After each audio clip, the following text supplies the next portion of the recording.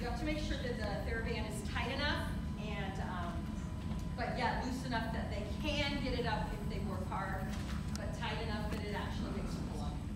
Um, This is another great one.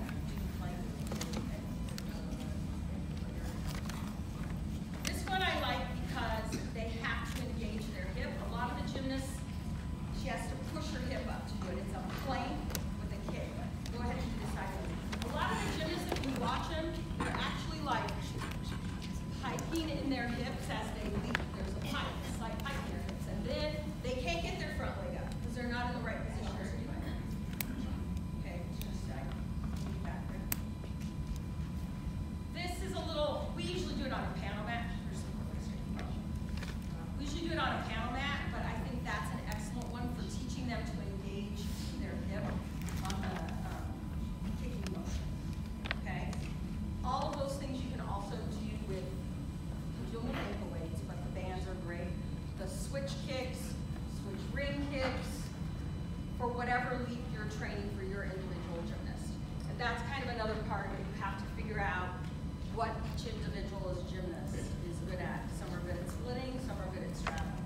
Go ahead and take that out.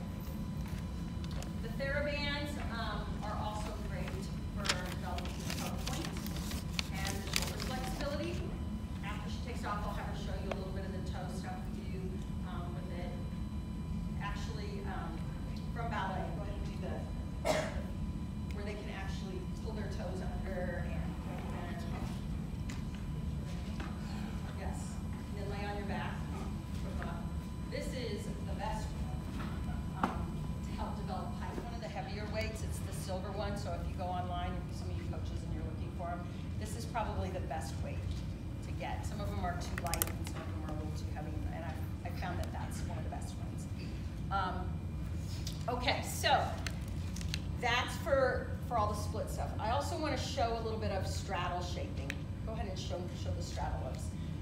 We talked, I talked a little bit about the side split position and how a few people have enough hip flexibility to do that, but most don't sit in a straddle. So what you have to get on the straddle is correct shaping, and their core has to be engaged and their hips have to be under, or they're gonna pick up that lower back arch and their legs turn in and, and it's not a strong shape. The core has to be engaged on the up. So it's kind of like if you have a gymnast climb the rope, I don't know, and they're in their they're in their L shape. Some of them really struggle to do it because their cores are so weak. So they're trying to hold an L and they've got this lower back arch going on. So core, the core work goes with all of this, that they've got to have a really strong core for leaping as well, particularly for straddling. Okay?